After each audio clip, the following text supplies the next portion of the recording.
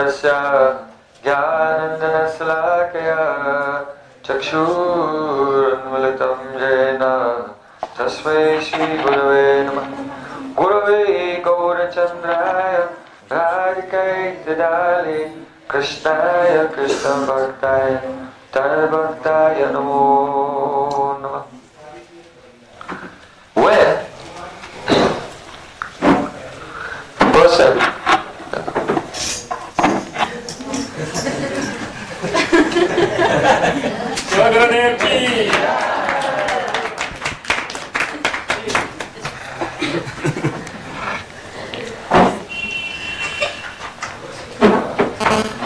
So when a person comes for the first time to experience our uh, Gaudiya tradition, Gaudiya Vaishnava tradition, then it can be somewhat shocking. Для нового человека, который впервые соприкасается с нашей гаудия вайшнавской традицией, все может казаться очень странным и шокировать их. Uh, not only the way that we dress, Не только наш внешний вид, but also the way that we behave. и- но также наше поведение, There's a lot of jumping around and вот это singing прыгание, loudly. безумные Dancing. крики громкие, подпрыгивания, Huh? And also so much discussion. И столько постоянных обсуждений. And it appears that we are uh, mentally inhabiting some kind of mythical realm full of all types of wonderful И creatures. кажется, что мы где-то витаем там в мифическом мире каких-то там бабочек, сверхъестественных существ и, и такое что-то запредельное, непонятное для обычного человека. And uh, it's very easy to misinterpret. И поэтому очень легко, очень легко может сложиться совершенно неправильное понимание нашей культуры в сознании нового человека. Все можно трактовать непонятно как. Even one may think, oh, this is some type of a primitive tribalism. Кто-то может подумать, что мы какие-то сектанты примитивного племени, какого-то непонятного рода, культ поклонения чему. So I want to give a little historical background. Поэтому я хочу все внести исторический контекст нашей традиции. Thousands of years ago, Тысячи лет тому назад on this earth there was a very wonderful, very advanced civilization. на этой земле жила очень развитая цивилизация, Was the uh, Aryan civilization? арийская цивилизация. The word Aryan in Sanskrit means noble. А, а ариец на санскрите означает благородный. And something is considered to be noble who is uh, living a progressive life, not progressive in the modern sense of progressive, which is generally meaning progr- progressively degenerate, but uh, progressing uh, in the matter of the spirit, That the soul should progress in developing uh, to become gradually, gradually uh, in the uh, likeness of God, the Supreme Being. То есть, э, что такое ариец? Ариец – это достойный. Что значит достойный? Достойный тот, кто достойно живет, прогрессивно живет. И прогрессивно не, не в том понимании, которое сейчас у нас понимание прогресса, это по факту прогресс дебилизма, и дегенерация идет сейчас, а не прогресс.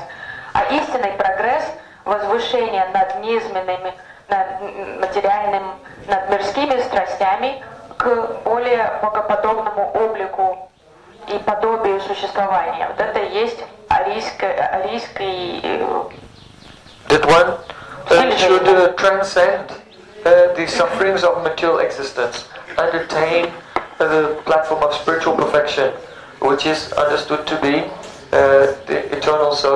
God. То есть человеку нужно возвыситься над материальным планом существования и достичь божественного плана существования служения Богу. So, the uh, literature or the law books of this culture are called Veda. И э, законы этой культуры, их литература называется Ведой. And uh, there are many uh, explanations of different aspects of reality, but the essence of the Veda is uh, kept in one short text called Vedanta Sutra or Brahma Sutra. То есть это были каноны их жизни, их уставы, их законы, веды. И есть различные трак- трактовки, объяснения учений вед, но самая сжатая форма, выраженная, э, выражение самых главных идей вед, это веданта. So Veda means knowledge, Anta means the end or the conclusion of all knowledge. То есть- Vedanta. Вывод веда это знание, анта это конец завершения, то есть вывод этих знаний. Uh, so the philosophy of Vedanta is uh, most wonderful. Философия веданты замечательная. Sometimes people think that uh, oh, the practices of the devotees somehow uh, may be illogical. Иногда людям кажется пове- п- поведение и практика преданных кажется нелогичной. But actually, our practices are based on Vedanta. Но наша практика э, основана на принципах веданты. And in Vedanta, there's a tradition of dialectic, philosophical discussion. Веданта это выражение традиции философских дискуссий. Especially, Vedanta has uh, four uh, parts. And the second part especially deals with philosophical discussion between different points of view. То есть веданта состоит из четырех частей. Вторая часть главным образом э, объясняет то, как аргументировать свои взгляды с оппозицией, то есть как правильным образом вести философский диалог. Because many people, when they come into a particular culture or religious movement, one doubt they have is that, well, this is just one point of view, but there are so many other points of view as well. Потому что люди, э, с- And so I don't want to be uh, into some uh, narrow perspective.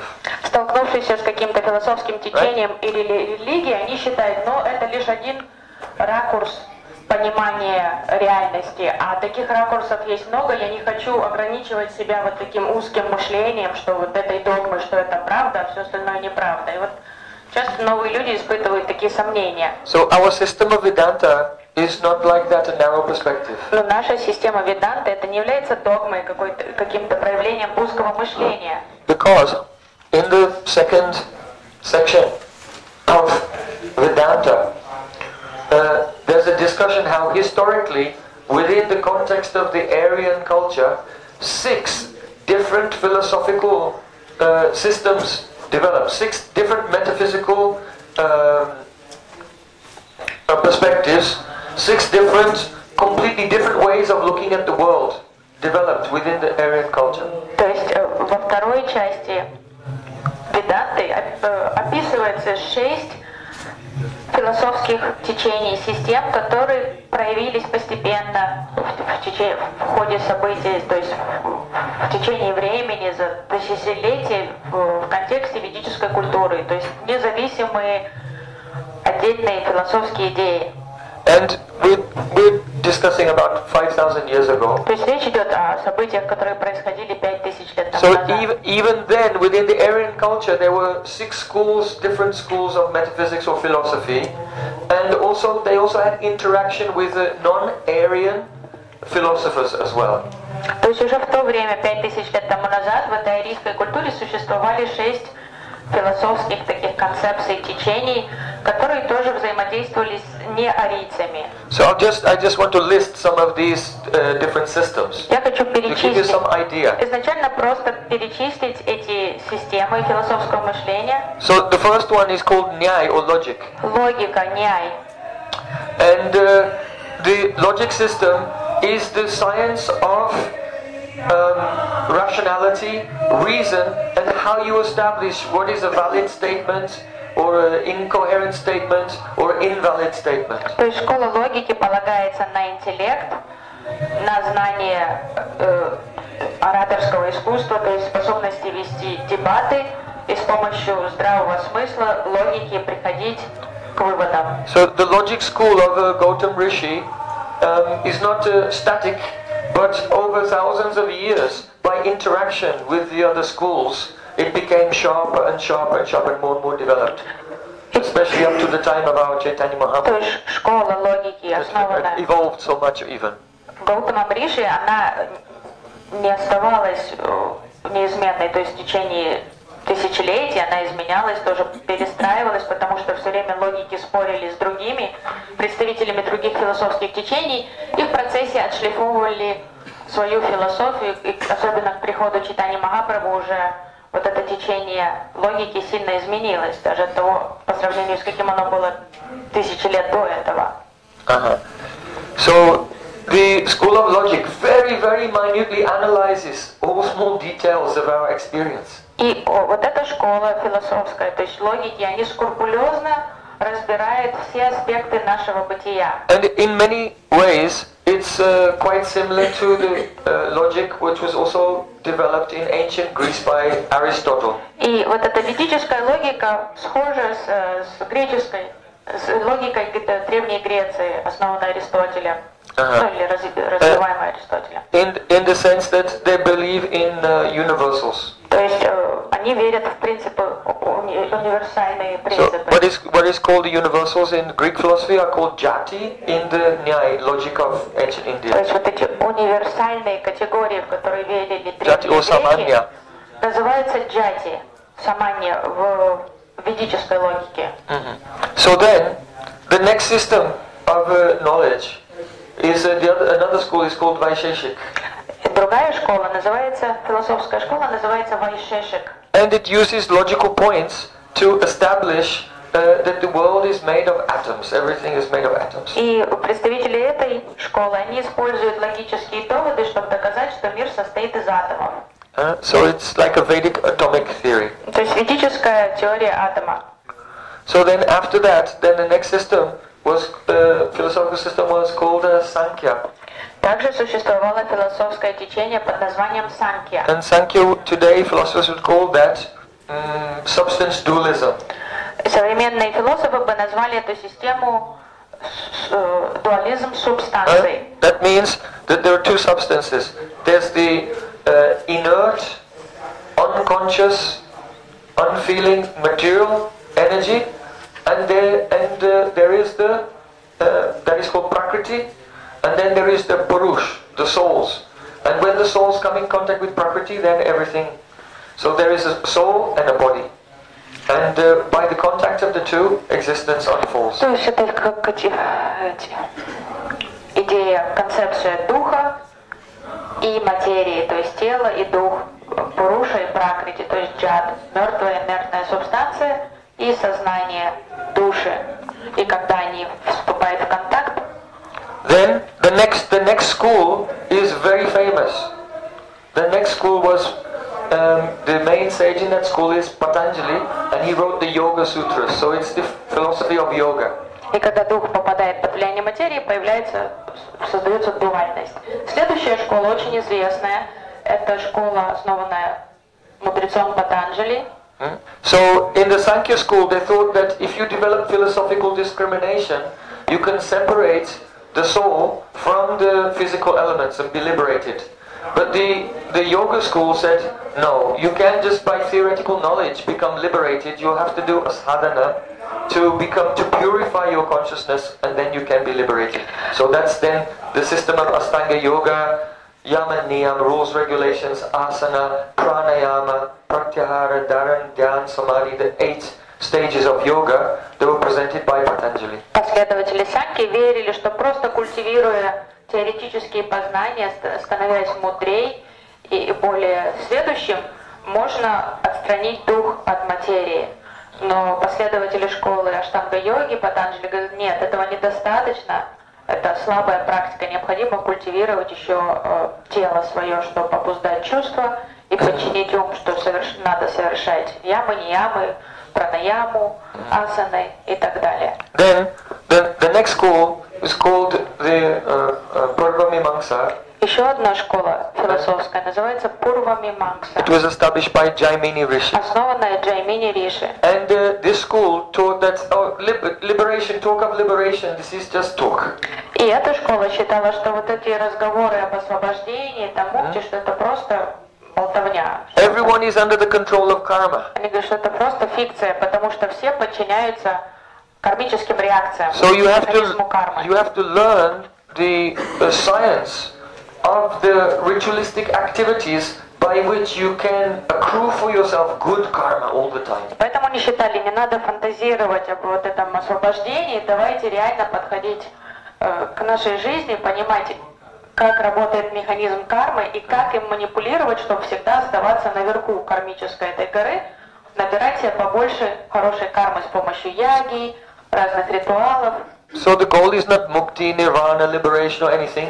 The goal is to play the system mm, here in this world so you always stay on top of the karmic pile, enjoying. То есть их не интересует, тут их вообще не интересует никакое освобождение или выбраться из самсары. Они, им нормально в самсаре, но главное, чтобы поудобнее устроиться в цикле самсари, всегда быть наверху и чтобы все было схвачено. Huh? So always someone is on the bottom of life suffering, always someone is on the top. So you make sure that you're the one on the top. То есть все видят, в жизни всегда кто-то наверху, кто-то в болоте, всегда на дне. Поэтому цель не оказаться в болоте, а повыше забраться и там по, по- по все жизни и проводить. By the performance of Vedic sacrifices, so this is called karma kanda, the process of accruing for yourself the punya, good karma. То есть это процесс накопления And хорошей because the result of good karma is you enjoy. Это просто процесс совершения яги и ритуалов с целью накопления хорошей кармы, потому что хорошая карма приводит к наслаждению, позволяет человеку наслаждаться. So this system is really atheistic actually. По сути, такая система э, Джайми, э, э, вот эта Пурва Мимакса, она э, атеистична в природе. either they say there's no God, or if there's a God, he's also under the control of karma. Потому что если, может, кто-то из них и верит в Бога, то они все равно убеждены, что он подчиняется карме. So if I do good things, good things come to me. If I do bad things, bad things come to me. And if there's a God, then I'm only going to get the results of my good or bad, so it doesn't matter whether there's God or Потому not. что они думают, даже если Бог есть, Он не вмешивается в эти дела, потому что до тех пор, пока я делаю хорошо и накапливаю хорошую карму, то Он обязан дать мне плоды этой хорошей кармы. То есть, So we have to be practical. то есть это прагматичное такое отношение к жизни очень.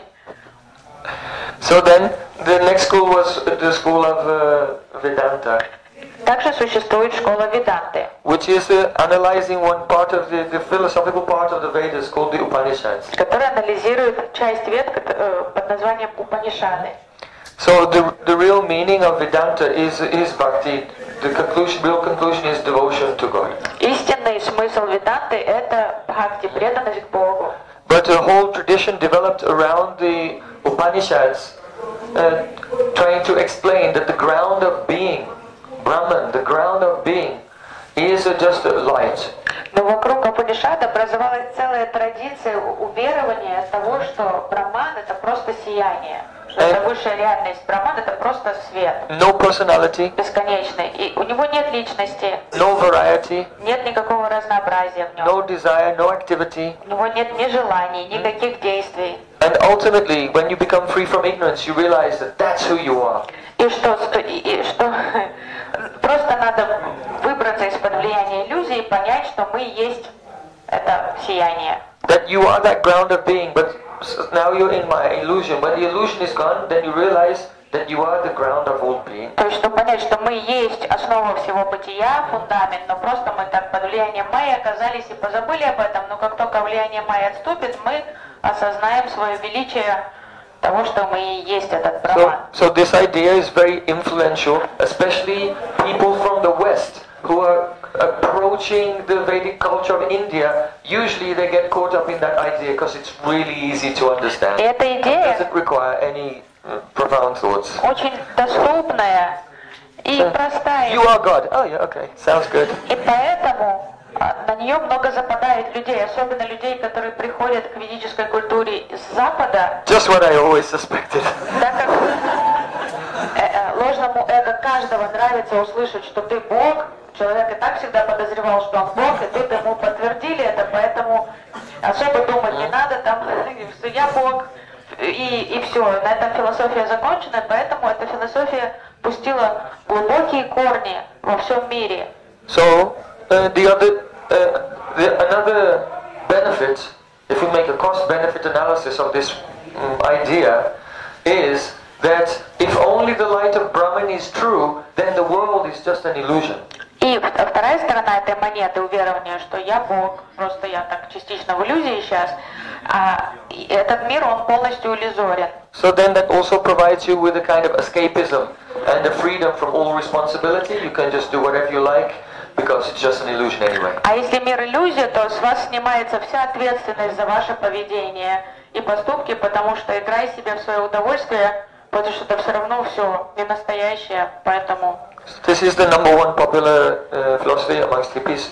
хиппи обожает эту философию, то есть это номер один любимая философия для всех хиппи. And people who have destroyed their power of discrimination with LSD. И те, кто уже пострадали, э, принимая наркотики, ЛСД и так далее, вот они тоже падки на эту. And it's also very, it's also very influential in the New Age circles.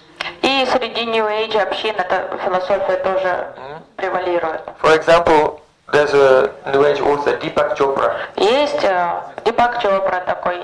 So he wrote a book about 10 secrets to happiness. If you know these 10 secrets, then you'll be happy. И он написал много книг. Одна из них 10 секретов счастья. Если вы знаете эти 10 секретов, вы будете счастливы. So one of the secrets is to know that you are not a person. И один из секретов, который он приоткрывает в этой книге, что вы не личность. The problem is that pe- people are unhappy because they think that they're a person.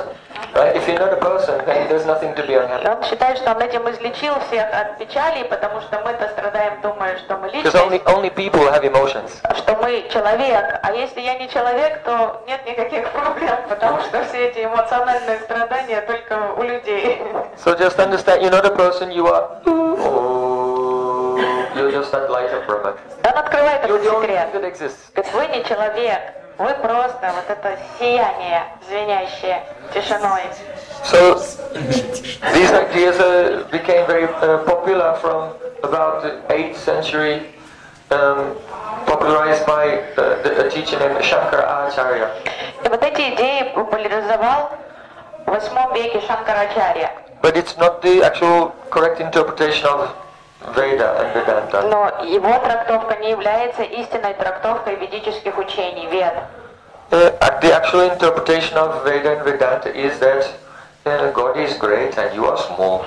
Истинная That's not интерпретация something вед that the proud person wants to hear about. – это то, что Господь велик, Вибу, А мы крошечные Ану. Но никто этого слышать не хочет, потому что ложное эго начинает возмущаться. Because then they feel like, oh, God is a fascist and he's oppressing me. Они думают, что это за опрессия такая, фашист, диктатор хочет мной командовать, а я раб какой-то.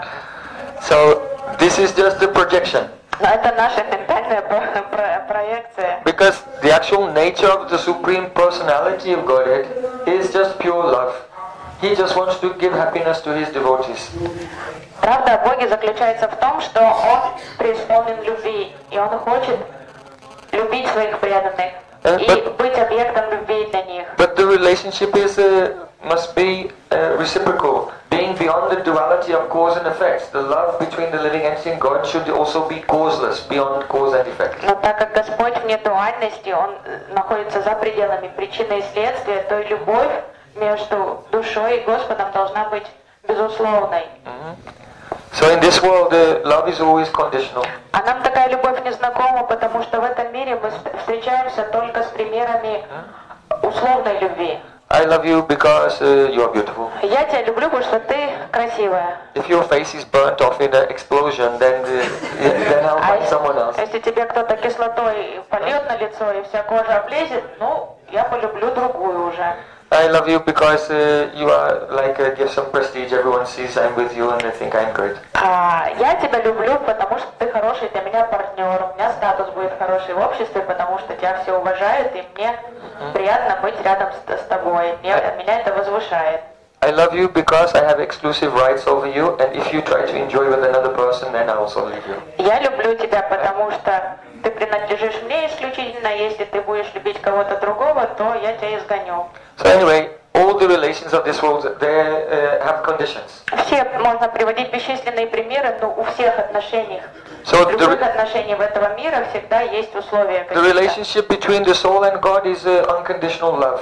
Отношения между душой, индивидуальной душой и Господом, это отношения, основанные на безусловной любви. The liberated soul serves Krishna only to give happiness to Krishna, not to get anything for himself. And Krishna does the same. Освобожденная душа служит Кришне ради самого служения, чтобы как-то угодить ему, а Кришна отвечает полной взаимностью. So, we looked at the six philosophies that came up within the Aryan culture, but there are some which came up outside of the Aryan culture with which there was interaction. То есть мы рассмотрели шесть философских, шесть главных философских течений, которые появились внутри арийской культуры. Но также существуют философские идеи, которые зародились извне, но они э, влияли на вот эти концепции арийских философий, потому что там был контакт, Actually, пересечение этих идей. actually these philosophies, they did arise within the culture, but they're not considered Aryan because they don't accept the authority of the Vedas. Сами по себе эти философии, So the Aryan philosophies are called Astic. сами These are called Gnostic, who accepts the authority of the Vedic literature and those who don't. Даже теории, которые появились внутри географии Индии, не могут считаться все из них арийскими, потому что арийскими могут считаться только теистические философии, астик, которые принимают существо, признают существование Господа. А те, которые не признают настик, они даже не могут называться арийскими. So uh, Buddha was Buddha was born in India, Будда родился в Индии, in Gaya. в Гае. In, in Gaya. So, so Buddhism comes from India, but because of the very fierce dialectic uh, between the um, followers of the Vedas and Buddhists, Buddhists were always defeated and they were driven out. So now there's hard, hardly any Buddhism in India. You can find in um, like Nepal, in uh, Thailand. in China, in Thailand, in Japan, like that. It was more or less driven out of India. То есть Будда родился в Индии, то есть эта философия за- зародилась в Индии, но так как она была встречена таким ополчением других философских идей, очень быстро все это буддийское влияние было из- изгнано за пределы Индии, то есть сейчас очень мало буддистов в самой Индии, вы их найдете там в Китае, там в Таиланде, Тайване. So there are, there are four types of Buddhism. Есть четыре разновидности буддизма. Vaibhasik, Sautrantic, Yogacha and Madhyamik. You don't have to write it all down, but I'm just Не надо записывать Просто знайте, что их четыре. uh, Buddhism itself is not um, a, a homogeneous subject, but there are different schools also within То Buddhism. есть это неоднородная философия. Внутри самого буддизма есть очень такие э, сильные различия между их э, ответвлениями этого буддизма. then there was a, a thinker named Charvak, Также жил один мыслитель Чарвак, and he was a complete materialist. полный материалист. Jivet, Привет. Gritam pivet, Rim kritva, mm, uh, Rim kritva, Gritam pivet. Yavan jivet sukam uh, uh, jivet. Means that as long as you're alive, you must try to enjoy. И, э, Чарвак э, проповедовал всем, пока ты жив, наслаждайся по максимуму. You know, food which is cooked in ghee is very delicious. Еда, приготовленная в ги, очень вкусная. But if you cannot afford ghee, just borrow money and get yourself some ghee. Если ты не можешь позволить себе купить ги, просто одалживай, бери в кредит и покупай ги. Just don't worry about it. Max out your credit cards. Просто возьми Go все into деньги с кредитных карт, Bec- кредиты. because every day of your life which is gone, you cannot buy it back. Каждый день жизни он бесценный, он уже не вернется, поэтому там одалживай, бери где хочешь и покупай себе побольше ги So at any cost, at any cost, enjoy every day of your life. То есть его, его философия была, чего бы это тебе не стоило, And наслаждайся каждым днем своей жизни. If you cannot afford to enjoy to the max, then take out credit. И если тебе твои личные средства не позволяют наслаждаться, как ты хочешь, то бери, одалживай тогда. And just die with massive debts. Because when you're dead, they won't be able to find you and get you to pay it back. Если ты умрешь с огромными долгами, какая разница? Ты уже умер, тебя никто не найдет, твои эти банки. Поэтому пусть там будет у тебя куча тысяч долгов. So this is Chavak Darshan, and Это it's, Даршан Чарвака. it's complete materialism. О, Жухлое обывательство, материализм. He taught that there's nothing but matter. То есть он не верил ни во что, кроме материи. So someone can say, but you know, I have a mind. А Кто-то мог ему сказать, но у меня же есть ум. So, yes, the, your mind is only emergent property of the matter. Но он говорил, но это все равно тонкое проявление материи. Just like the earth, if you eat some earth, it will not kill you. Он говорит, если немножко земли, пыли собрать, это не убьет тебя, если ты скушаешь эту грязь. But when there's a plant, a datura plant, it's only the earth transforms and becomes the flowers of the datura plant. If you take that, you will die. Говорит, но если ты съешь э, растение дейтура, которое очень ядовито, но оно по природе не что иное, как трансформация земли, то ты сразу умрешь. So, the datura plant is just a transformation of earth. То есть да, вот это растение дейтура, это всего лишь трансформация земли. Earth is not poisonous. Земля по себе не ядовита. But when it's rearranged in a particular configuration, then there's the emergent property of poisonousness. Но если поменять структуру немножко, вот эту, э, то появляется вот этот ядовитый элемент. So in the same way, the matter is not alive, but if you configure it in a particular way, become конфигурацию немножко земли поменяли, и появилось ядовитое растение. То же самое с материей. Немножко конфигурацию изменили, и появился вот этот ум, сознание. Вот мы появились So- из этой материи. That is, that is the common philosophy today, materialism. Everything is just made of matter, and we are like biological machines. Но это современная философия людей, сейчас потребителей просто, что все это материя, мы просто биологические машины такие. So in this way, um, I'm trying to give a little introduction to what, what is Vedanta. И Я сейчас просто делаю вот такое вступление, чтобы пояснить, что такое веданта. What Vedanta does is take all these ideas, И веданта собирает все вот эти идеи, all этих these schools, шести философских течений, and puts them all together in a death match. и, с- и создает поединок между ними. Huh? In a dialectical death match. То есть вынуждает их э, соперничать друг с другом, And that, that dialectical death match has been going on for thousands of years in India because each time one school would defeat the other, then that school would go away and work on new ideas and come back and defeat them.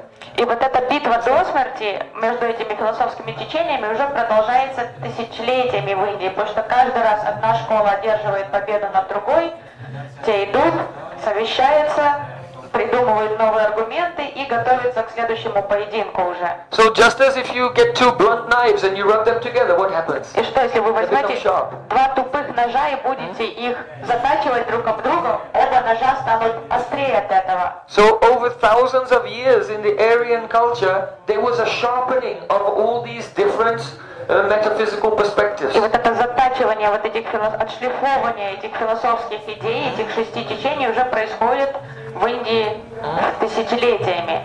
And then in the in the, our Vedanta tradition, they're all put together into this dialogue, uh, dialectical death match, and then uh, whoever wins, that's the conclusion. И то есть в нашей традиции Веданта, а Веданта это возможность стать наблюдателем за вот этим поединком до смерти между этими философскими идеями и наблюдать, кто выживет там. So Vedanta is not um, some kind of just emotional idea. То есть это не какая-то сентиментальная идея Веданта, это не эмоции какие-то. It is the conclusion of uh, thousands of years of uh, dialectic between many different points of view. Это вывод, который озвучен уже после тысячелетней битвы вот этих философских идей. Huh? And then what was left? The- that is the conclusion of есть Vedanta. ос- э, самые такие э, суть выводов, сделанных вследствие вот этих постоянных поединков между философскими идеями, и вот это выражено в Веданте. So not only that, but within that conclusion of Vedanta, um, some great personalities, teachers appeared and presented some also variations of Vedanta. Но также уже после существования Веданты разные великие мыслители, учителя, мастера, они э, вносили свой вклад своими комментариями, пояснениями вот So этих идей. four main perspectives emerged.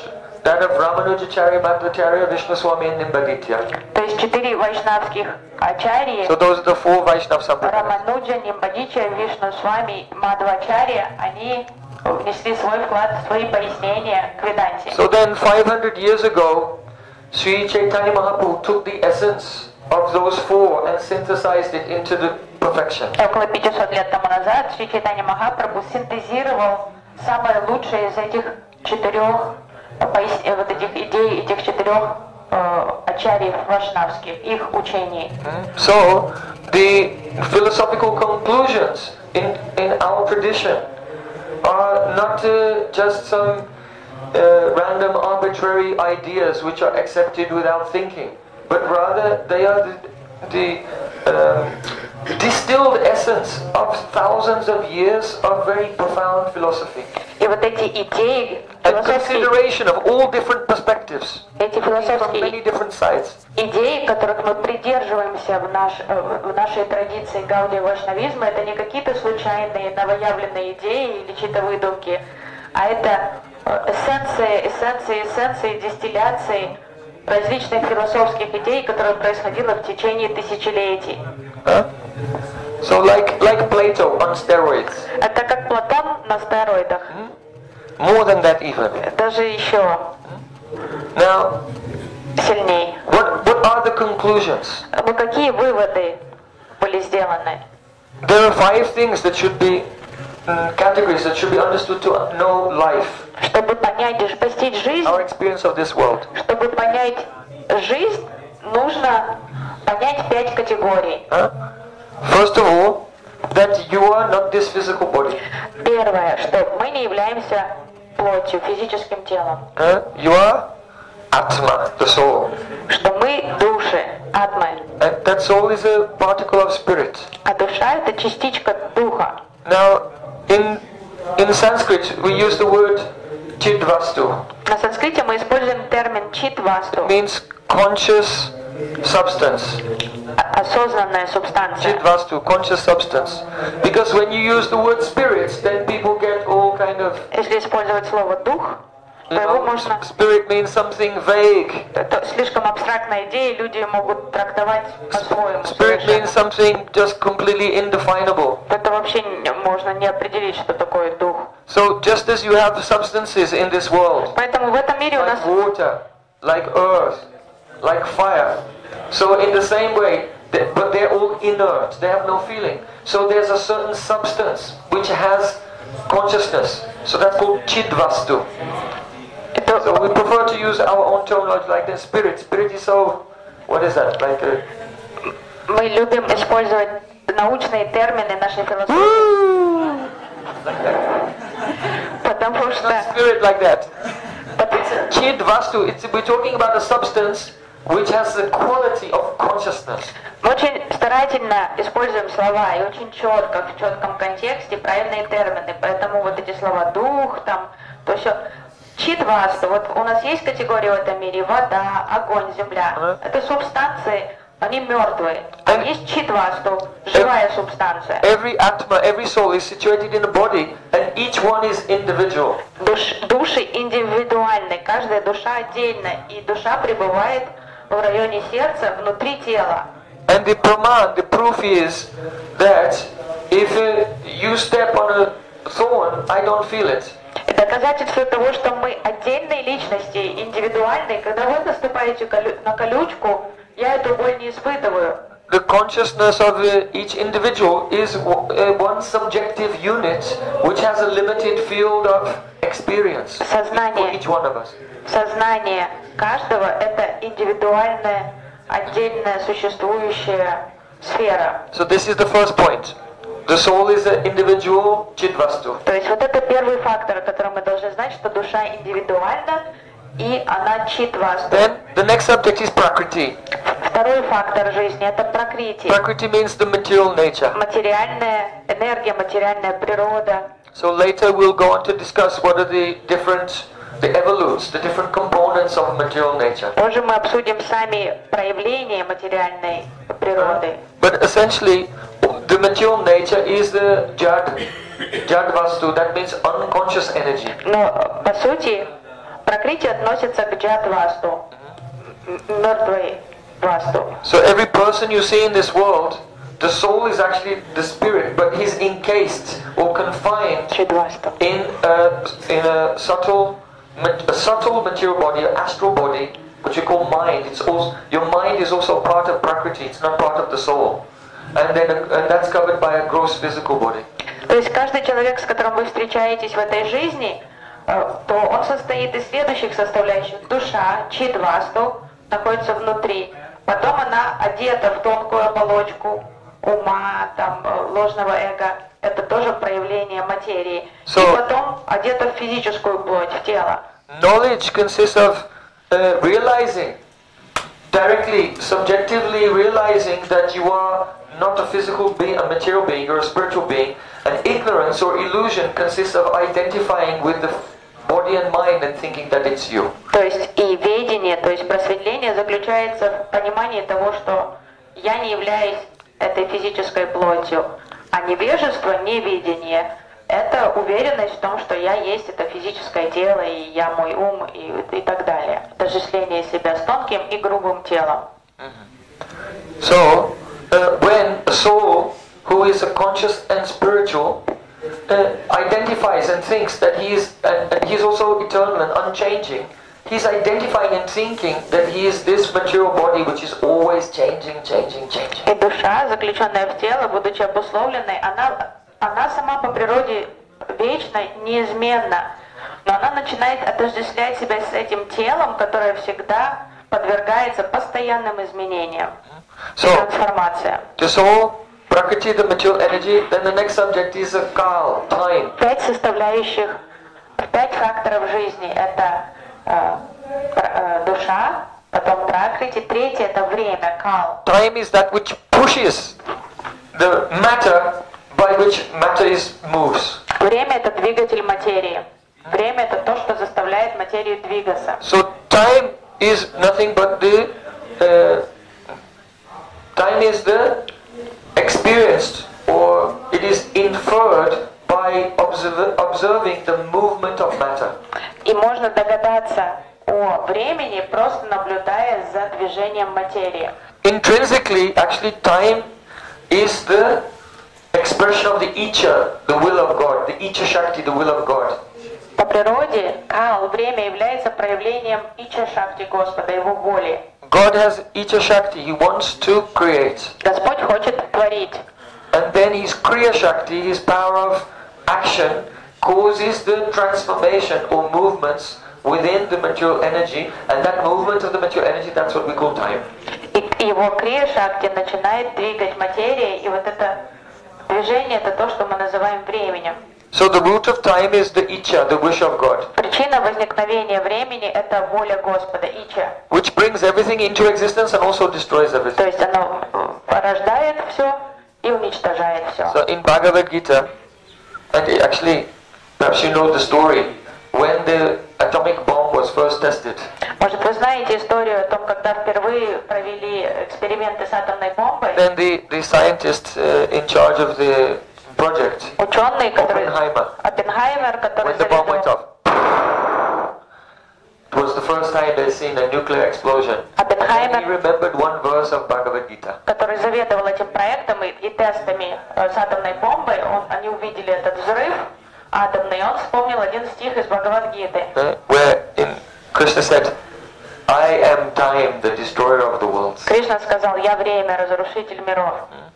So this is a very famous sentence spoken by Krishna in Bhagavad Gita. Это известное изречение, произнесенное Кришной в Гите. So you have the soul, spirit, the material energy, then time. So when time acts on the material energy, then what happens? Action, and that is called that action is called karma. То есть э, время это двигатель материи. Когда время начинает двигать материю, что происходит? Вот это движение, это называется карма. So everything that you do for yourself, Все, что вы делаете ради себя, that means every reward-seeking activity. поиск вот этого наслаждения, награды.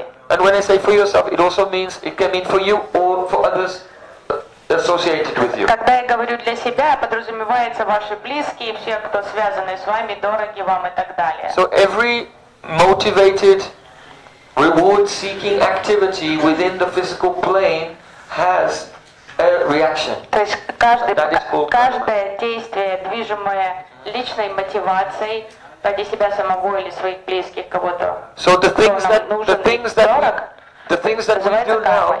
sorry, the things that we do now produce our future destiny. С- наши поступки сейчас э, создают наше будущее.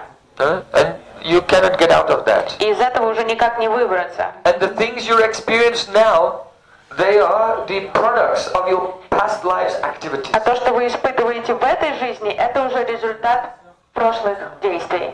So, uh, someone is the male, someone is female, someone is one race or another race, someone is very beautiful, someone is not so beautiful, someone is very intelligent, someone is not so intelligent. So all the qualities that we are born with in this life, they are the reactions for past activities. То, с чем вы родились в этой жизни, это уже зафиксировано, определено прошлой кармой. То есть пол ваш, ваш внешний вид, красивый вы или страшненький кто-то, умный или не очень и так далее. Все эти нюансы уже определены прошлыми поступками. So then the fifth item is Ishvara, that is God. Пятый фактор – это Ишвара. Пятый фактор существования, бытия – это Ишвара, Господь. First of all, uh, when the soul, being spiritual, is encased in matter, it's an incompatible situation. And that's why in this world basically everyone's struggling and suffering. Сама по себе факт, что душа, духовная, вечная, заточена во что-то временное, вот это материальную плоть, это уже ненормально. И поэтому это уже неестественное положение вещей, поэтому мы наблюдаем повсюду, что в этом мире большей частью все страдают. Even if you attain some type of uh, happiness or comfort, but after time it will be washed away by time completely.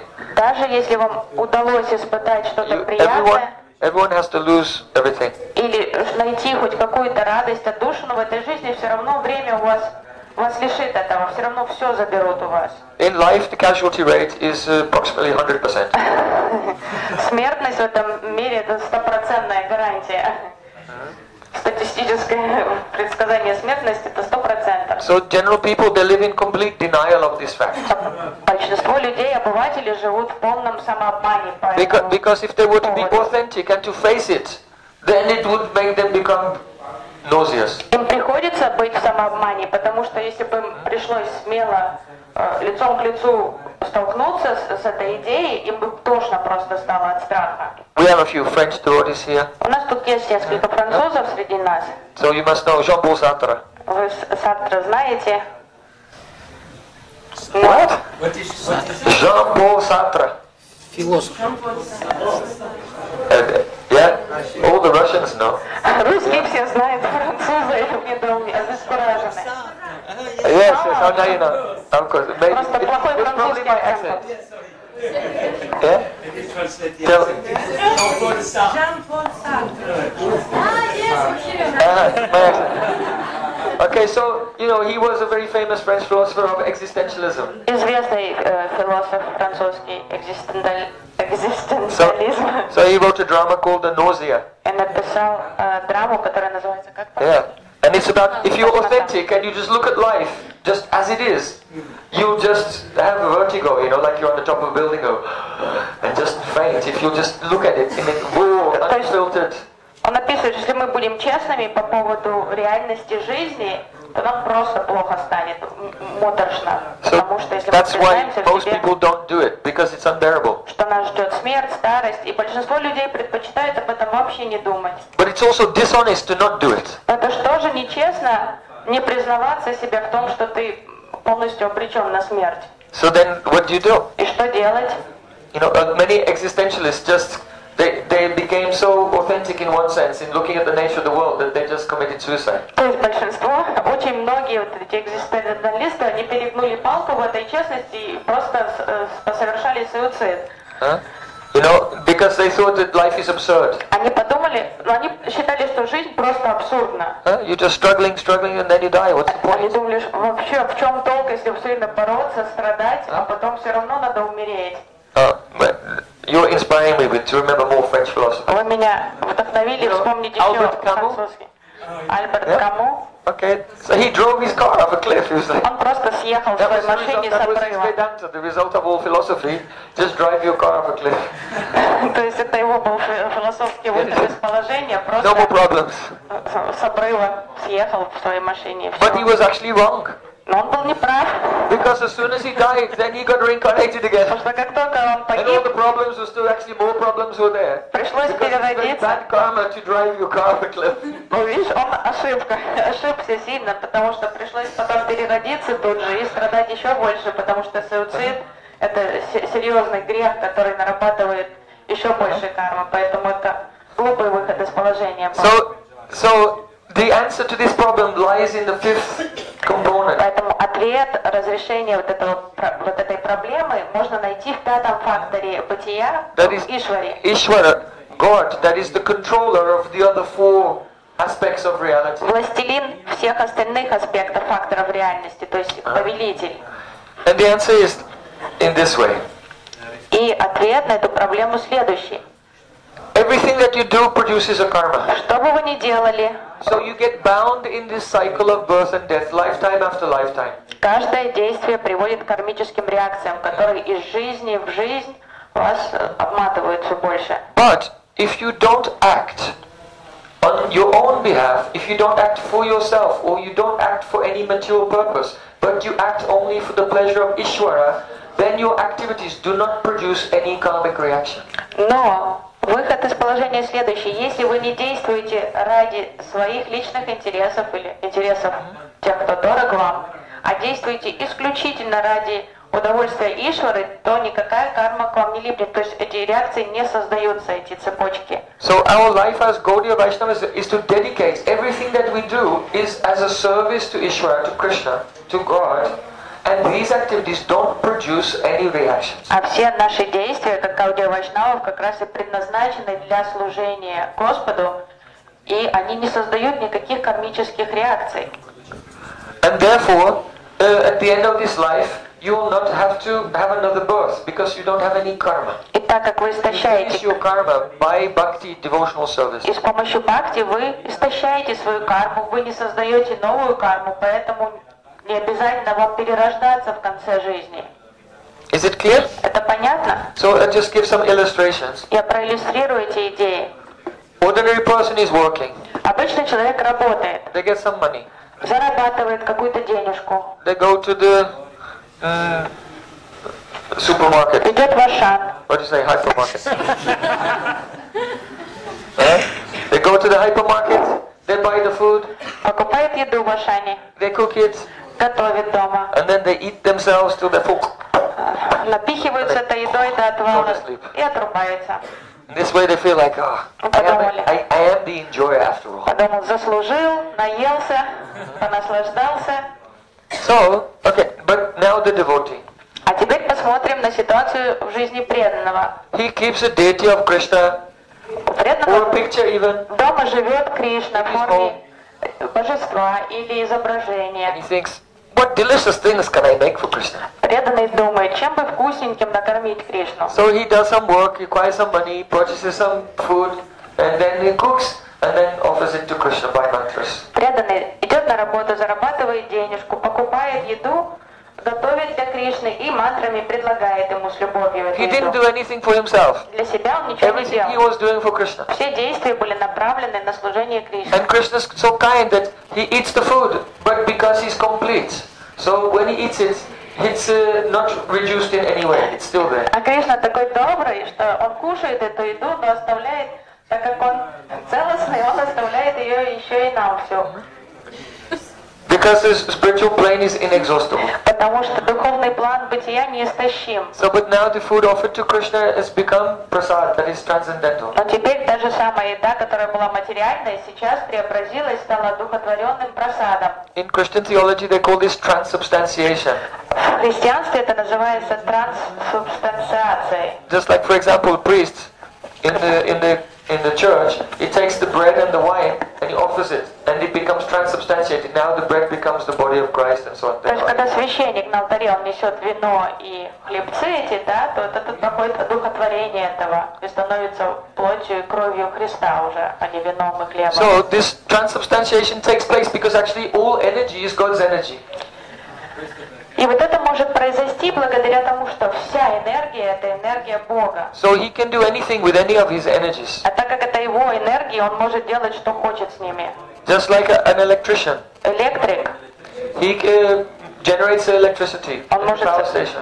создать электричество на энергостанции. And then with this electricity, he can make things cold in a refrigerator and make things hot in a microwave. Этой, эт- этим электричеством охладить продукты в холодильнике и нагреть что-то на плите. Uh, the energy he has made is the same, but he can utilize it in different ways. Это его энергия, это одна и та же энергия, он просто по своему усмотрению, по надобности использует ее по-разному. So though the food was material, uh, by, by mantra, then Krishna accepts this and it becomes transcendental. Then when you take it, it purifies your body also. То есть еда была материальной, но когда преданный мантрой предлагает Кришне с любовью эту еду, она одухотворяется, и когда мы кушаем уже просад, то он очищает наше сознание и наше тело, каждую клетку So тела. you, your body was material and it was just the, the reaction of past karma. But now you're taking prasadam and only acting for Krishna. Gradually, gradually, your body becomes spiritualized. То есть наше тело, которое мы в этой жизни получаем, это наша прарабдha карма. То есть это олицетворение прарабдha кармы, это все состоит из материальных реакций. Но когда мы начинаем питаться духовной пищей, то каждая клеточка тела постепенно меняется, то есть оно становится одухотворенным. So a, a material body just does material activities. Материальное тело занято мирскими делами обычно. But by the practice of bhakti, you undergo the transubstantiation of your body, mind and senses. Но благодаря практике бхакти происходит процесс одухотворения нашего тела, чувств, сознания. And then the spiritual substance doesn't do karma. It only does the acts of love. А так как тело одухотворено, а духовное не занимается кармой, то тогда это духовное тело, одухотворенное тело уже совершает акты пред, выражения преданности Господу. Is it clear? Это понятно? So this, the path of bhakti yoga is the gradual transubstantiation of your body, mind and senses То вот это и есть наша практика бхакти-йоги, постепенный процесс одухотворения тела, чувств и сознания, чтобы преображение этого тела в духовный инструмент, посредством которого мы можем служить Господу. So now we come to the very interesting, very fascinating. Сейчас мы подойдем к очень интересной теме. Karma don't think that your karma just comes to you from outside. И не думайте, что карма настигает нас только извне. You know, if someone steals your uh, telephone, your phone or your passport, Кто-то украл паспорт или телефон у oh, вас. this is bad karma. Some, Мы думаем, о, плохая карма меня настигла. uh, if someone smashes your car, Или кто-то разбил вам машину. whatever. So uh, karma does not only come outside. Our karma is coming inside and outside same Но time. важно понимать, что карма настигает нас не только извне, она настигает нас изнутри, нас самих. Let's say let's say it's your karma to go somewhere, but before you go there, first you have the idea I want to go there. Например, это ваша карма оказаться в опасной какой-то ситуации где-то, но перед тем, как вы там оказались, у вас появилась мысль, схожу-ка я туда сегодня. So the the karma or the activity in the bead state, in the seed form, are the desires in your mind.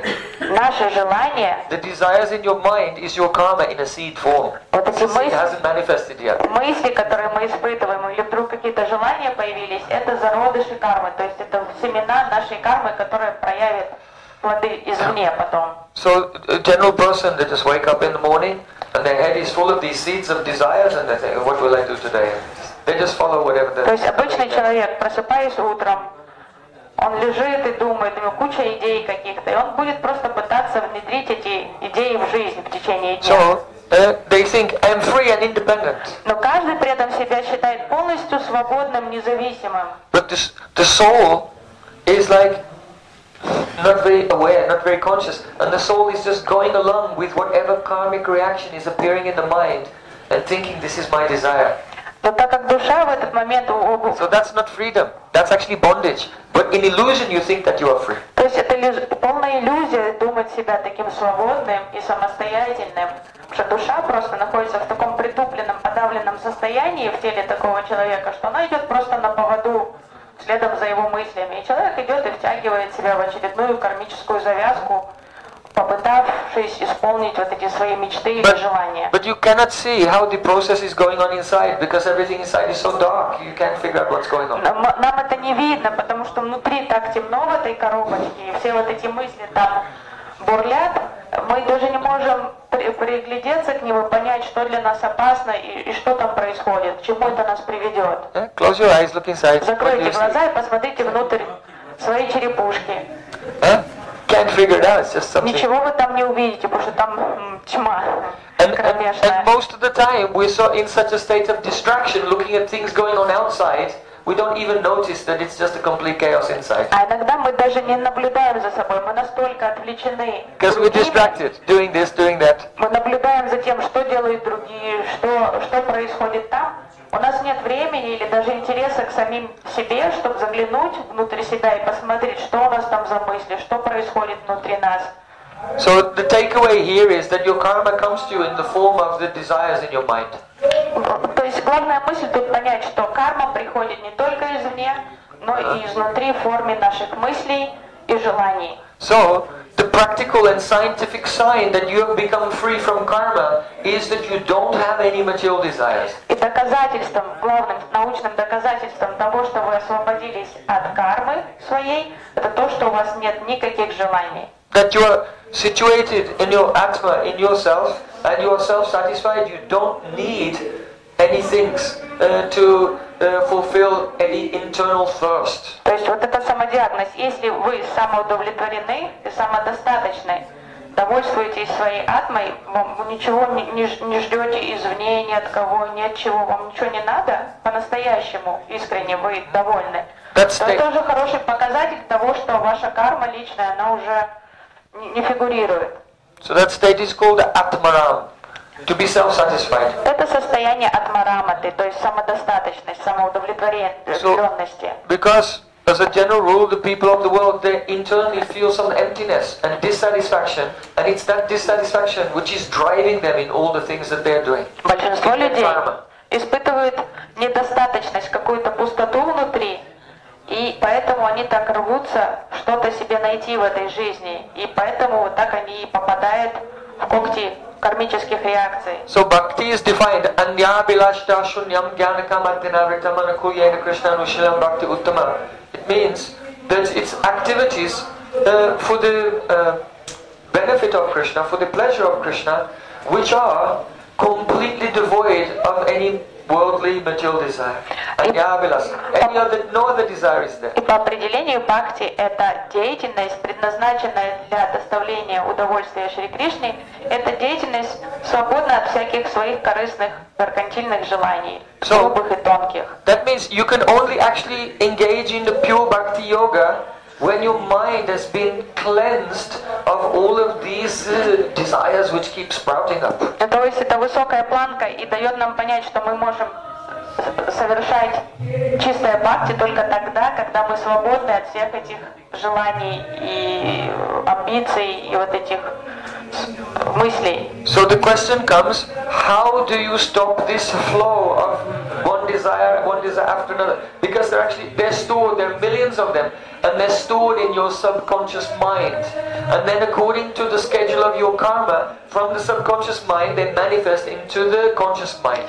И возникает важный вопрос, как остановить, как обрубить поток этих бесконечных желаний, потому что на самом деле их бесчисленное количество прячется в архивах нашего подсознания, и когда наступает время, в соответствии с нашим гороскопом, с кармой, какие-то из них всплывают на план сознания, мы начинаем активно фантазировать, мечтать об этом, думать об этом. А это So, все всплывает из How, прошлого. how can you stop this flow of karma coming internally? Как пресечь вот этот поток кармы, который бьет фонтаном изнутри?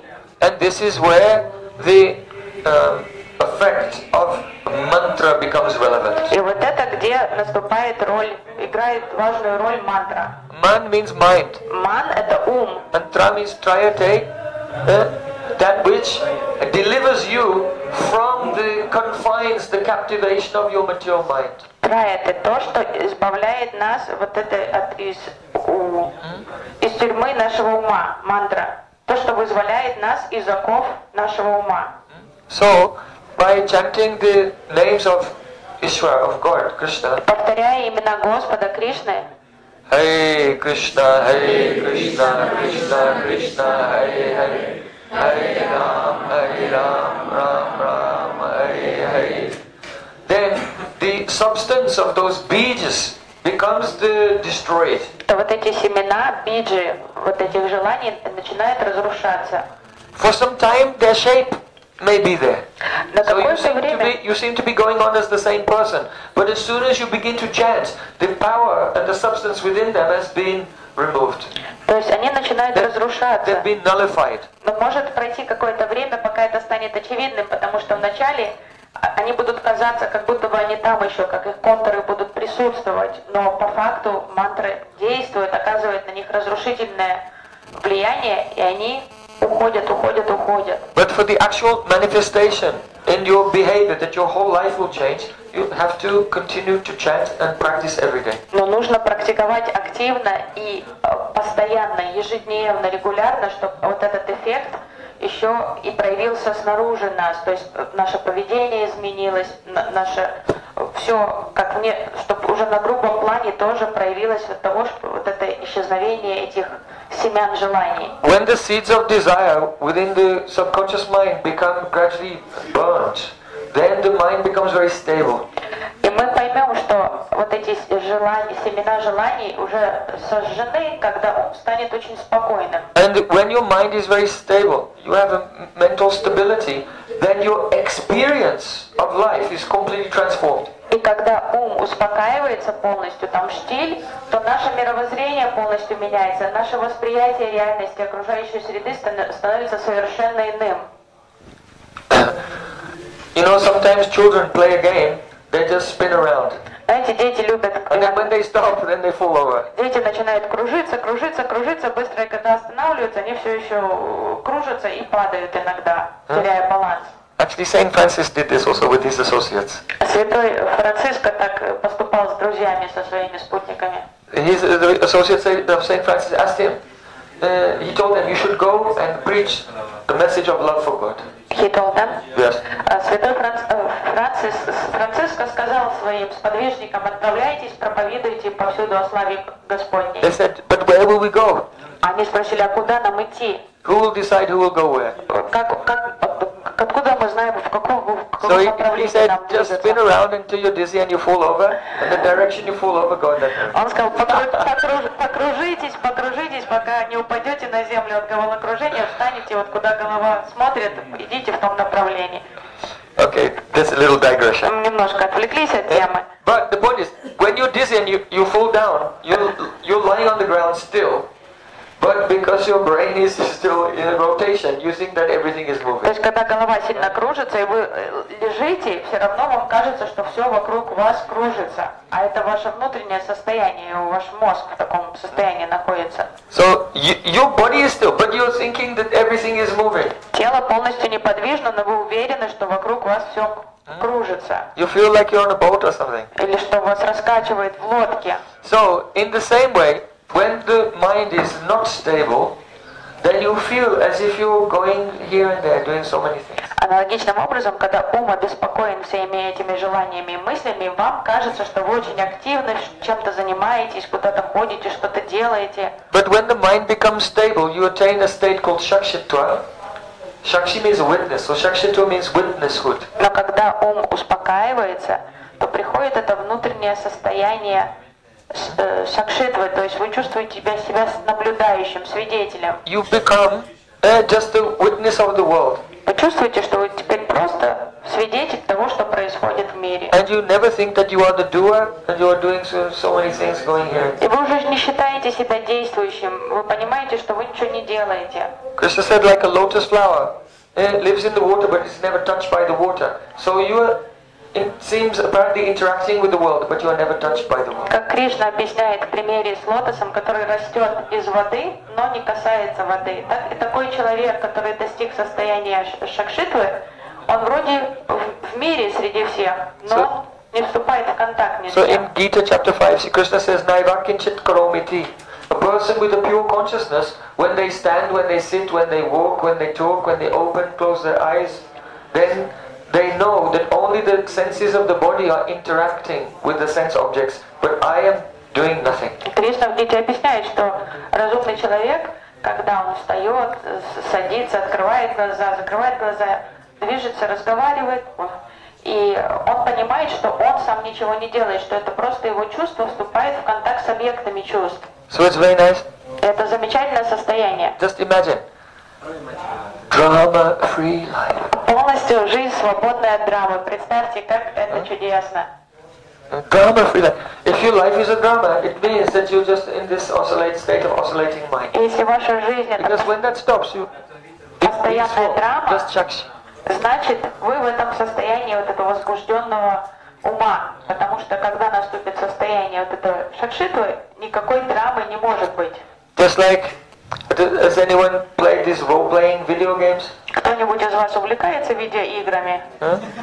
I, I, I, be, I became a devotee before they were invented. Я стал преданным еще до того, как изобрели вот эти игры, где So- там аватарка есть у тебя, и ты там какой-то герой. But we see here and there they have these machines, and you can be a person running around here and there shooting people and everything. Ну, то есть молодежь играет в эти игры, где ты там как кто-то или как что-то, и ты бегаешь, стреляешь во всех, там So выигрываешь the, что-то. the software is giving the impression that you're going here and there doing so many things, jumping, running. Программа, software, она создает впечатление, что вы как раз двигаетесь, But actually, перемещаетесь, the, the person is just sitting in there pressing some buttons. Но это э, пацан сидит там где-то в темноте у себя дома и на кнопочки нажимает. So in the same way, the software of Prakriti, the material energy, is giving you the impression that you're going all over the place doing this and that. И с вами But Atma is uh, transcendental to this.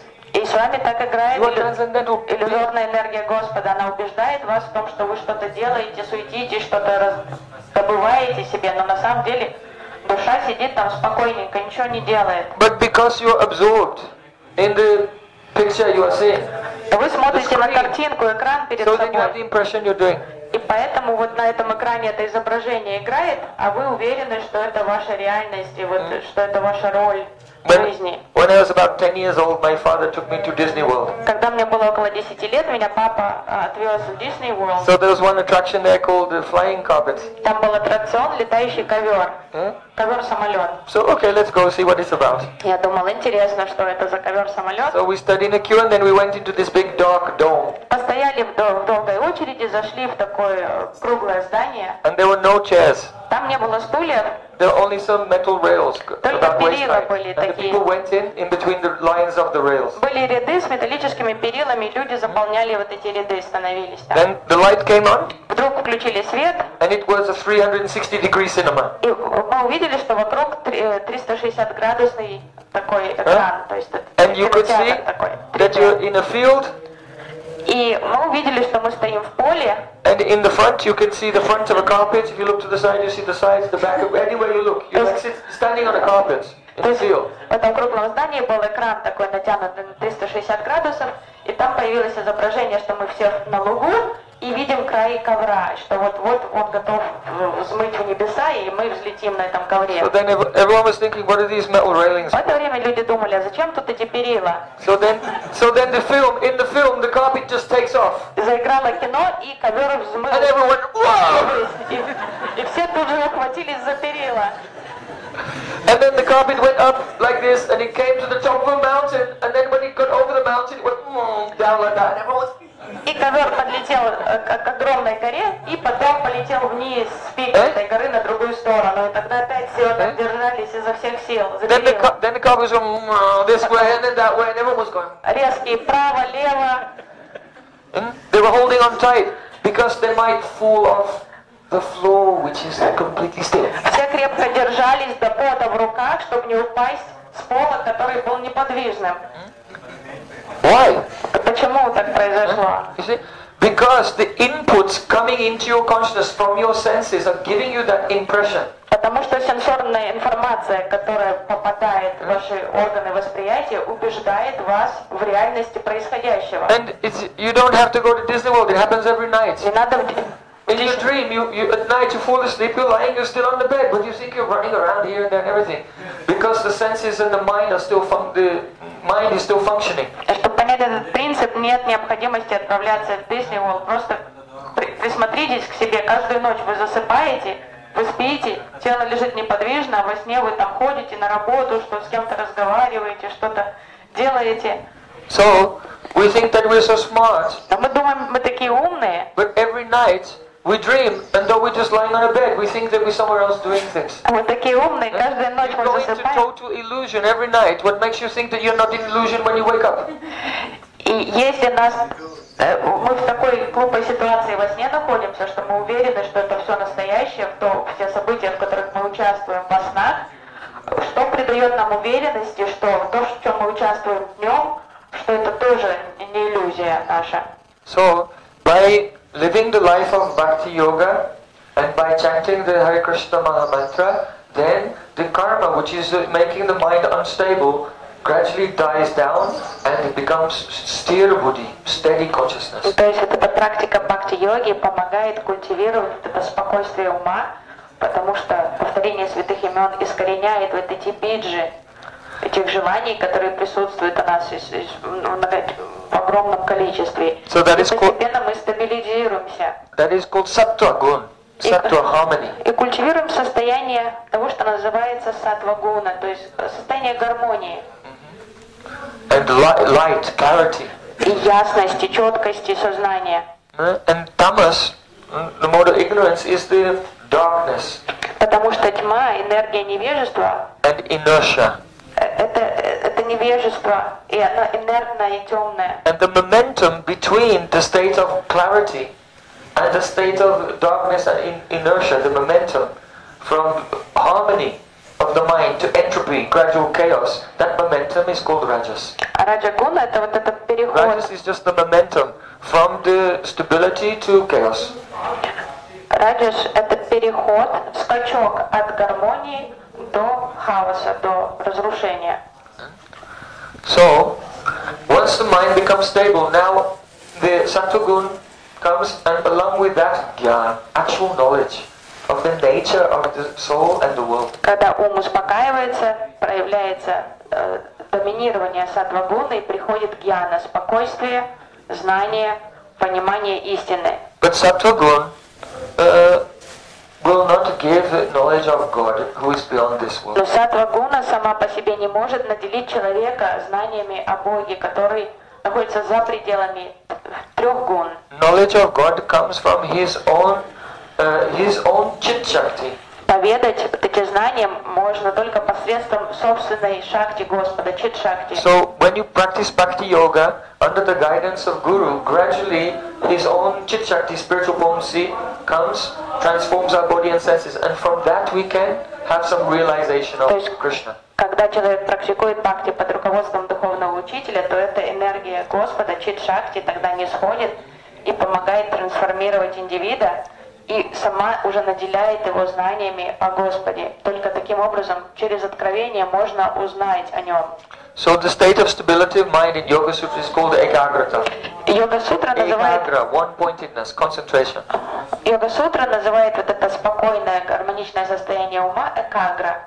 And the ana- analogous state in Bhakti Yoga is called Nishta, А в which бхакти means steadiness.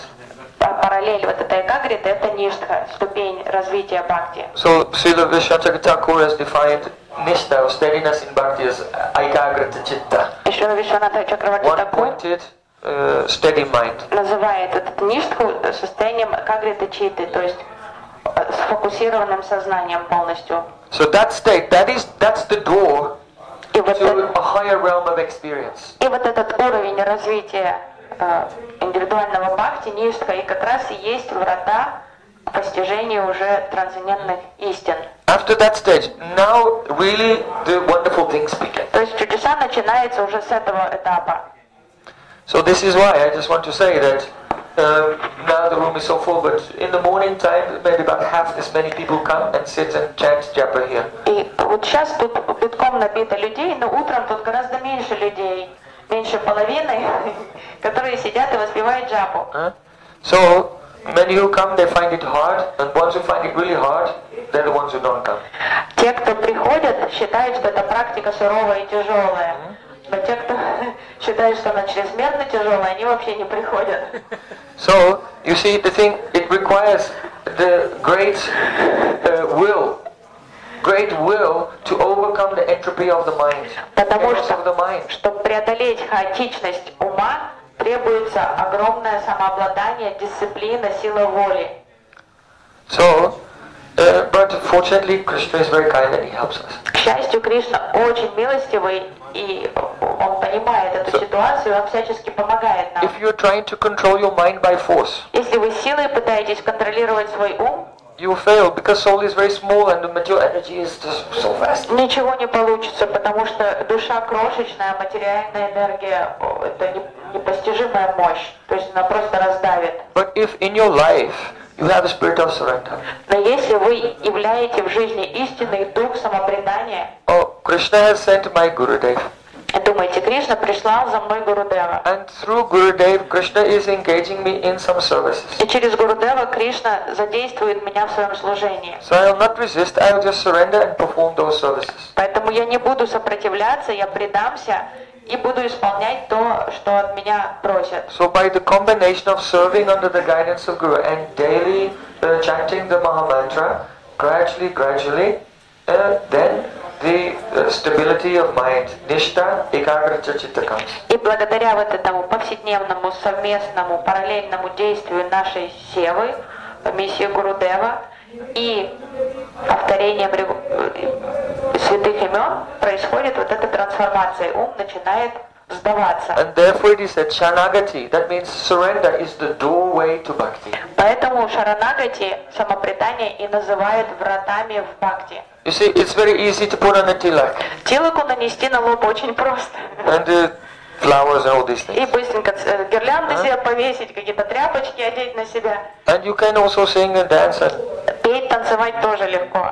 but if in the heart there's no spirit of Shanagati, surrender, Но если внутри shelter, в сердце отсутствует дух самопредания, того, что мы э, серьезно принимаем if прибежище, the ahankar, ego is still functioning, just now ego has a tilak. Если эго до сих пор кочевряжется там, но просто А? сейчас это эго, приукрашенное тилокой, then even the so-called practice of bhakti will not have the effect. то даже тогда вот эта внешняя, так называемая практика бхакти никаких истинных плодов не принесет. And you can uh, test, you can take your own pulse. И сами поставьте самодиагноз You don't have to go to the Ayurvedic doctor, you can take your own Не pulse. надо к аюрведисту идти, возьмите себя за пульс, Because if you are surrendered at the time of the remembering Gayatri mantras and chanting, your mind is completely peaceful and you can focus. Uh, but if your mind is going everywhere, it means that the spirit of surrender is not strong yet. So you have not come to the doorway to enter into the divine experience. То есть, если вы действительно совершили шаранагати или в большей степени его совершили, то когда вы пометуете гайатри мантры, когда вы повторяете харинаму, вы заметите, что ум не будоражит вас, что он спокойный. Но если ум взбудораженный, То это указывает на то, что ваш дух самопредания еще очень слабый, или вы даже и не, не- не совершили никакой шаранагати, то есть вы еще даже не вошли в врата бхакти. So once a person has a spirit of surrender and their mind has become steady, now the true experience of bhakti opens. So what, how that is experienced, that will be our topic tomorrow. То есть надо войти в эти врата бхакти, чтобы начать вкушать вот этот опыт того, что такое бхакти, настоящая бхакти. So just to summarize И мы услышим today, более подробно об этом уже завтра. А сейчас я подытожу то, что мы услышали уже. uh, don't uh, have some uh, fear that you are, if someone is coming into devotional service, that they're becoming involved in some type of tra- strange sect. И н- н- не страшитесь того, что если вас влечет духовность, что вы станете частью какой-то безумной секты. Or some random ideas which are not well thought out. И не думайте, что это какой-то а- ассортимент каких-то идей, а, которые не имеют никакого философского фундамента Don't, even consider that you are examining one uh, candidate theory among so many candidate theories. И даже не думайте, что вы рассматриваете лишь одну из конкурирующих философских идей или мировоззрений. Because the tradition of Vedanta is the tradition of examining all the different candidate theories and then setting them against each other in a dialectic and extracting the conclusion. Сама философия Веданты – это уже э, плод того, что множество философских идей были разобраны, отсеяны, и остались только победители. And then uh, the next thing is uh, to understand the five principles that compose our experience here. Также надо быть знакомыми с пятью факторами нашего бытия в материальном мире. That is Atma, the soul, Джива – душа, the material energy, материальная энергия, the force of time, время, on the material energy which causes karma, activity, который является двигателем материальной энергии и создает карму. and then Ishvara, who is, is provides the opportunity to come out of this situation. И пятый фактор этой ситуации это Ишвара, который и позволяет нам выбраться So the, из этого круга. the connection with Ishwar is established through the uh, Bhakti Yoga, which is practiced under the guidance of the spiritual master, he mediates. И отношения с Ишварой можно наладить посредством практики бхакти-йоги через посредника, духовного учителя, который будет вести переговоры с Ишварой за So, нас. then the next point is that if you go to college, generally knowledge is, means that you collect lots of pieces of data, information. И еще одна It's важная considered to be идея. knowledge. В современном мире наша идея образования или получения знаний ассоциируется с тем, что мы полу- ходим на какие-то курсы, зазубриваем то, что написано в учебниках, But on- повторяем это потом, и мы думаем, что мы обрели знания. But on the spiritual path, knowledge is the enlightening of your consciousness by which you become free from the illusory identification, thinking that the body is the self, when the self is actually spiritual. Это духовное That is образование. knowledge. That's real education. Настоящее образование духовное и набор знаний – это когда мы э, работаем с нашим сознанием, а- расширяем его, озаряем до тех пор, пока не приходит полное понимание того, что мы не есть это тело, мы перестаем себя отождествлять с вот этими мирскими всякими концепциями, ярлыками. So to theoretically know that is not really knowledge.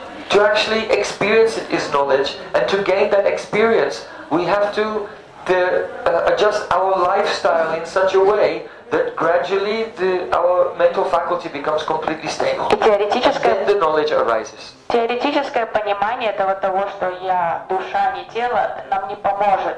То есть это должно быть осознанное знание этого, а оно придет только когда мы внедряем в жизнь, перестраиваем свою жизнь, полностью совершаем духовную практику, садану, и в процессе этой саданы мы начинаем меняться и понимать это уже как полный факт того, что мы не есть это тело. So if you have any doubts or any questions, Если у вас you, есть can- сомнения, you should not be shy. You should always put them because there's the answer is there. Вопросы, сомнения, любые, вы не стесняйтесь, вы их задавайте, потому что на все ваши вопросы есть ответы. And in fact, that is the one of the functions of guru is to remove all doubts and uh, uh, misconceptions. И одна из обязанностей гуру на самом деле это развеивать сомнения учеников или э, тех новых, кто хочет что-то узнать о философии. Okay, is everything clear? Все понятно? You're very lucky. Вы Very очень lucky. удачливы.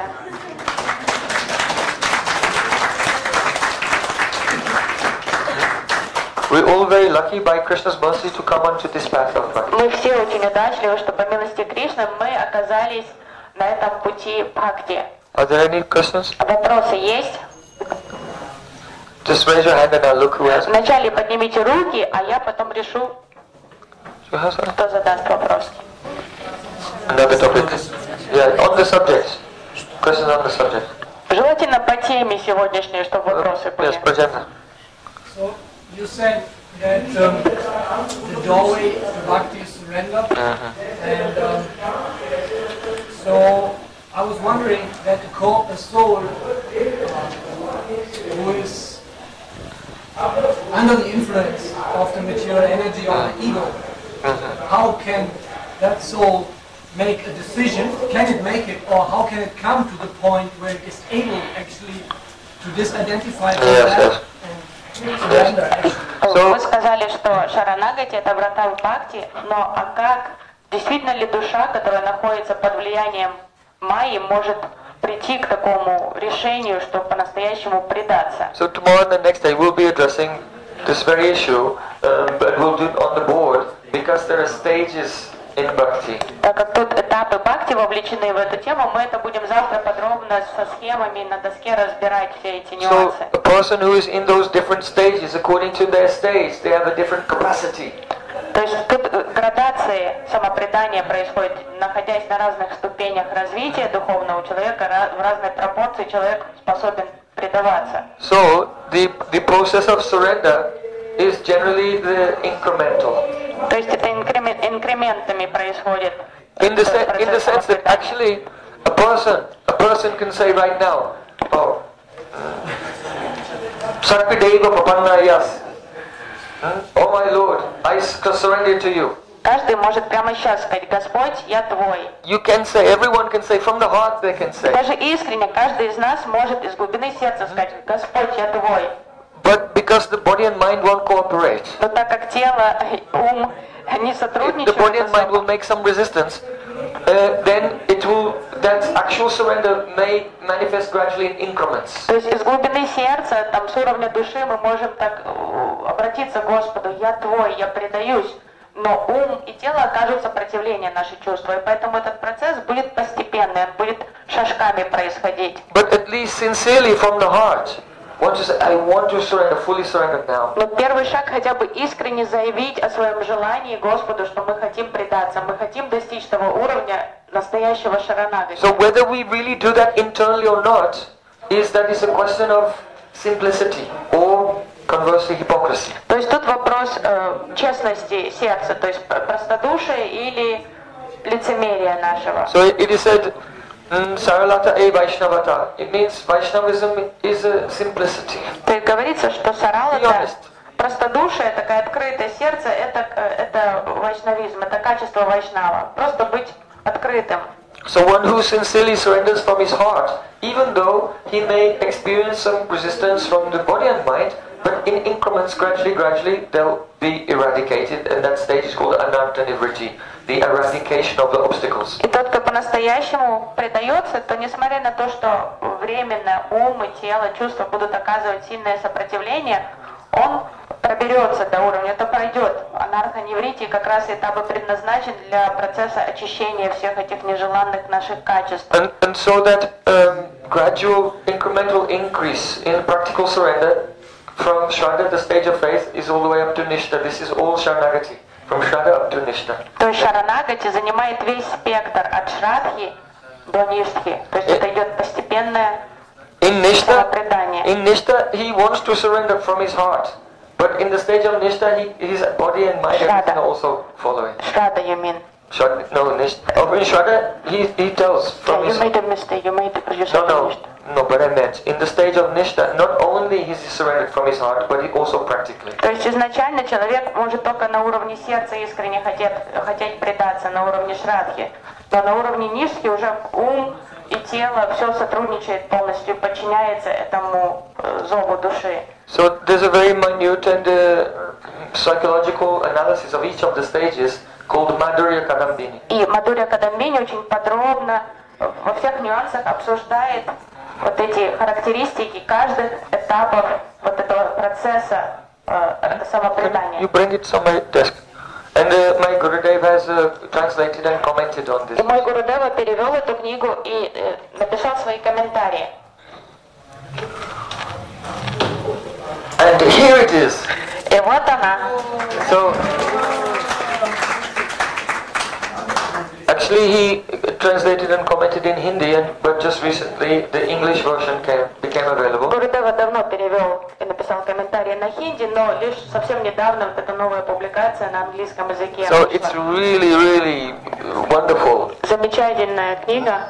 If a person is trying to progress in bhakti, when they read this, they think, oh, he wrote this book about me. Каждый Because all читающий, of the problems that you will face in your life, you'll see they've been written one by one here. каждый, кто возьмет в руки эту книгу, everyone's going through the same experiences. каждый, кто возьмет в руки эту книгу, подумает, что Шила Вишванат Чакравати Такур написал эту книгу о вас самих, потому что каждый сталкивается с такими же трудностями во всех нюансах, поэтому он подробно их изложил, и это да- даст понимание вам того, что вы не особенный в своих проблемах или там трудностях, что это So if you want to get a процесс. copy, you can d- make order with Swana and we'll uh, get for you. In English?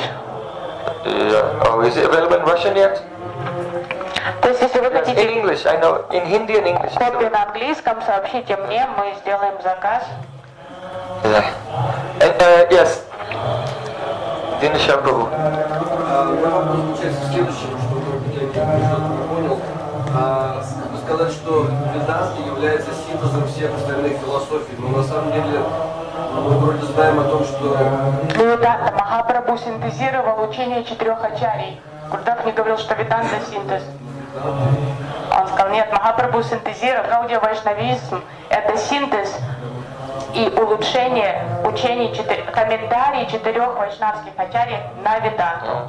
So that, that's why our philosophy and our Gurudev's institution is called Gaudiya Vedanta Samiti. Поэтому мы называем Society of Gaudiya, because it's a Vedanta, but a very the mature, fully developed uh, form of interpretation of Vedanta, Gaudiya Vedanta. Если у кого-то тоже такое сомнение возникло, там не было идеи, что Веданта это синтез этих э, учений. А это Махапрабху синтезировал уже комментарии четырех вайшнавских ачарий на Веданту и добавил свое. И поэтому мы называемся Гаудия Веданта. The Gaudiya Vedanta was spoken by Chaitanya Mahaprabhu for the first time in his uh, uh, discussion with Sarvabhauma Bhattacharya in Puri. И вот эти идеи Махапрабху были впервые прозвучали во время его беседы с Сарвабома Бхаттачарьей в Джаганатхапуре. So his di- Sarvabhauma Bhattacharya's um, mm, disciple was named Madhusudan Saraswati. И ученика, э, и Мадусудан Сарасвати, ученик Сарвабома And Бхаттачарьи, he was also there and he heard Chaitanya Mahaprabhu's explanation. сидел во время этого диалога и слышал объяснение читания Then Махапрабху. afterwards Madhusudan Saraswati went to Banaras, to Kashi, and he was studying and teaching there. И позже он отправился обучать в Каши. Now we've just come Учиться, а from потом уч- э, учить. uh, now we've just come from Navadvip. Мы с вами сейчас посетили So Навадвипу. Nityananda Prabhu took Jiva Goswami on Navadvip program. Then he sent him to Vrindavan, but told him to go through Kashi on the way. So Jiva Goswami went and spent time in Kashi, and he learned Mahaprabhu's Vedanta from Madhusudan Saraswati. They heard it directly from Mahaprabhu, and then brought it to Vrindavan. So that's the history how Gaudi Vedanta came. В Навадвипе мы слышали о том, как первая Навадвип Парикрама прошла под руководством Шри Нитянанды Прабhu, который взял юного Дживу Госвами, а, повел его по девяти островам Навадвипы.